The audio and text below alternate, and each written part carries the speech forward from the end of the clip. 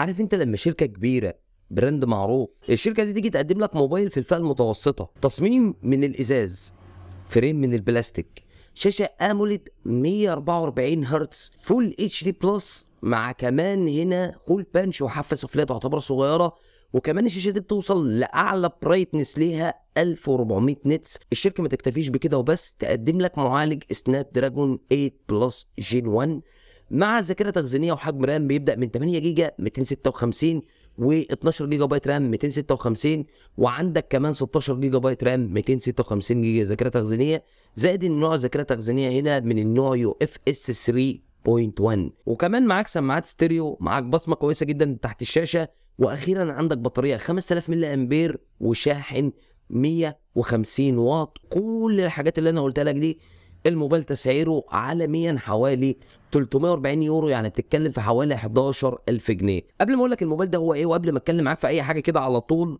انزل اخبط زرار ال like كسر زرار الاشتراك وفعل الجرس عشان يوصلك مننا دايما كل جديد. أما دلوقتي خلينا نخش في تفاصيل الفيديو.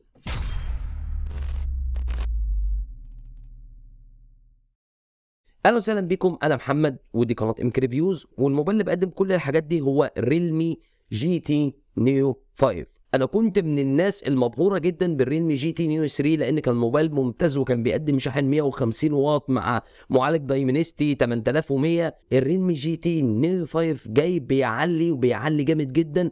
وخلينا نبدأ أول حاجة بنقطة التصميم لأن تصميم الموبايل ده ملفت جدا. غير إن تصميم الموبايل فخم ظهر من الإزاز و frame من البلاستيك الموبايل أصلا شكله حلو. لو بصيت على الظهر كده هتلاقي إن الظهر جاي بلون واحد وهتلاقي مربع كبير كده أو مستطيل كبير باللون الأسود مقسوم لجزئين. جزء في الكاميرا الأساسية والكاميرا ال ultra wide وجزء كده عبارة عن مستطيل كده مقفول فيه كاميرا واحدة وهي دي الكاميرا الميكروسكوب. وكأن Realme بتشير وبتسوق للموبايل ده على أساس الكاميرا الموجودة فيه اللي هي مش موجودة أصلا في أي موبايلات في فئته السعرية. الكاميرا الميكروسكوب دي هتلاقيها في ال Realme GT 2 Pro. اللي هو الموبايل اللي في حدود 18 20 ألف جنيه فكون إن هم سابوا كاميرا أو حطوا الكاميرا دي في موبايل بالسعر ده دي حاجة كويسة جدا. تسيب التصميم وتخش على الشاشة تلاقي إن الموبايل ده بيقدم لك شاشة متوحشة. هنا شاشة AMOLED 144 هرتز Full HD Plus شاشة 6.7 من 10 إنش استغلال حواف ممتاز جدا.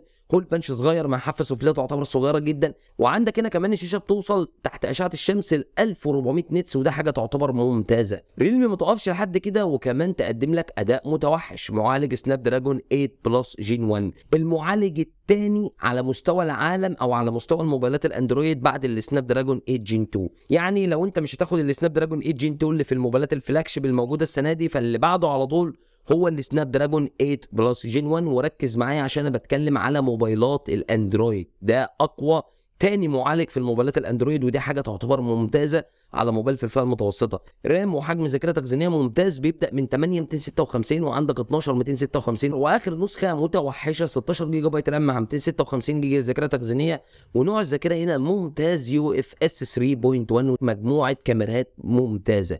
كتعددية كاميرات شايفها من أفضل التعددية في الكاميرات. كاميرا أساسية مع OIS 50 ميجا بكسل كاميرا ultra wide 8 وكاميرا مايكروسكوب ودي حاجة ممتازة. الكاميرا دي ممكن تستخدمها في حاجات كتيرة جدا تقدر تشوف بيها تفاصيل التفاصيل حرفيا. وعندك كمان كاميرا أمامية 16 ميجا بكسل والكاميرات الخلفية بتصور فيديو 4K 60 frame في الثانية وده حاجة كويسة جدا. أما الكاميرا الأمامية آخرها 1080 بس ما فيش هنا 4K خد عندك بقى سماعات ستيريو بصمة كويسة جدا تحت الشاشة وطبعا بصمات Realme من أفضل ما يكون. أكيد شبكات ممتازة لأن دي مجموعة ال BBK و software أكيد مستقر وممتاز. كعادة Realme عامة لأني شفت ال Realme GT Neo 3 وكان بيقدم تجربة عاملة إزاي. تفتكر بعد كل ده ممكن يكون في تنازلات تانية؟ أقول لك لأ تماما. هنا أنت عندك بطارية 5000 ملي أمبير وشاحن أسرع ما يكون في فئه 10 11000 جنيه 150 واط. لو جيت بصيت على الموبايل ك total تصميم وخامات صناعة قدم لك أقصى حاجة موجودة في فئته السعرية.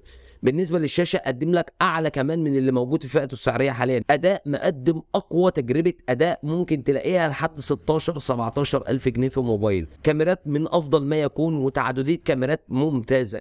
شحن سريع وبطارية سماعات ستيريو. الموبايل مش مقصر معاك في أي حاجة نهائي. يمكن العيب الوحيد اللي أنا شايفه في الموبايل لحد دلوقتي إن الموبايل ده ما بيدعمش مدخل 3.5 مللي ودي حاجة أقدر أقول لك عادي جدا لأن في موبايلات كتيرة جدا ما بتدعمش مدخل 3.5 مللي. وكمان الموبايل ما بيدعمش مقاومة الغبار والمية وبرضه ما فيش غير موبايلات سامسونج في الفئة المتوسطة هي اللي بتدعم مقاومة الغبار والمية بس. تسعير ممتاز جدا من Realme أتمنى الموبايل ده ينزل في السوق المصري حتى لو وصل ل 12 13 ألف جنيه فيظل اختيار قوي جدا. استنى Realme GT Neo 5 لأن الموبايل ده بيقدم تجربة متوحشة جدا بيقدم قيمة رهيبة جدا مقابل السعر. دي كل حاجة عن ال Realme GT Neo 5 وأكيد طبعا أول ما الموبايل ينزل مصر لازم أجيبه وأجربه. وكالعادة أكيد انتظرني فيديو جديد وسلام.